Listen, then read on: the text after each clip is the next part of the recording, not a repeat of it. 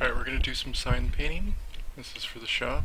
Uh, I have to basically turn my graphics up for this one, so I apologize if there's any inconsistencies, but we'll just do a time lapse anyways.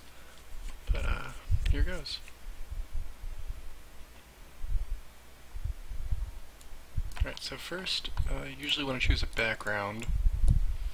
Just thick, solid background.